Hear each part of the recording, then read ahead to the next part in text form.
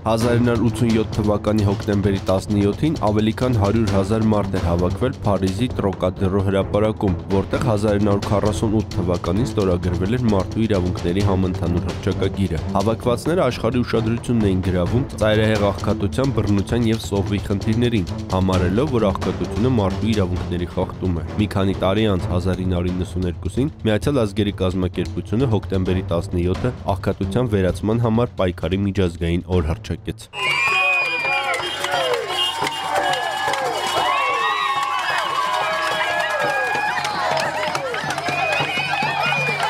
Ըստ ՄԱԿ-ի աշխարհում ավելի քան կես միլիարդ մարդ մատնված է սովի, որի 1/3-ը երեխաներ են։ Նույն կազմակերպության տվյալներով աշխարհում սովից օրական մահանում է 22000 երեխա։ Հայաստանում ցավոք սրտի այս առումով իրավիճակը բարվոք չէ։ Պաշտոնական վիճակագրության համաձայն մեր երկրում ավելի քան 900.000 մարդ, այսինքն մոտավորապես ամեն երրորդ քաղաքացին աղքատ է։ Նրանցից ավելի քան 400.000-ը շատ աղքատ է, իսկ ավելի քան 80.000-ը ծայրահեղ աղքատ։ Ընդ որում փորձագետներն ակնարկում են բարձր տոկոսի աճի մասին։ Փողոցները չեք նայ,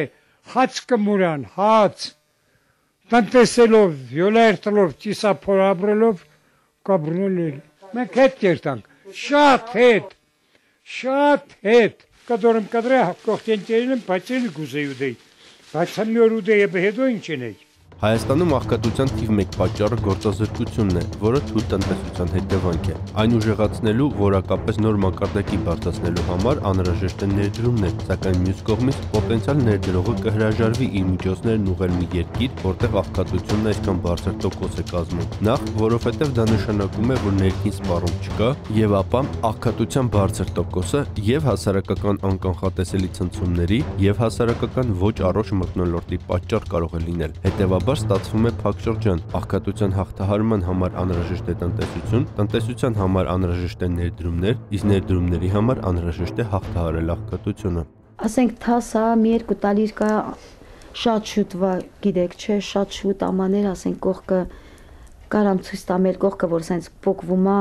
հա կողքը փոկված հա տենց եմ յոլագում Աղքատության բարձր տոկոսը ենթադրում է սոցիալական բևեռացում։ Մի կողմից մարդը սկսում է գնահատվել ոչ թե իր մտավոր կամ բարոյական հատկություններով, տարբեր հմտություններով, այլ պարզապես փողով, քանի որ աղքատ երկրում միակ արժանիքը փողն է, ինչը եւ ի վերջո հանգեցնում է հակահասարակական վարկի։ Մարդը մտահոգվում է ոչ թե իր բարձր անվամբ, մյուսների հետ հարաբերություններով, մասնագիտական կարողությունների զարգացմամբ, այլ միայն փողով։ Սրա հետևանքն էլ ներհասարակական ատելությունն է։ Ասում են, ուզում էինք սարքել շուկայական տնտեսություն, բայց ստացվեց շուկայական հասարակություն։ Իմ երեխան ասում է պապի, որ չեմ կարում, չէ կարում փողը տակ։ Ես ամոթ եմ անում այդ ամենը, որ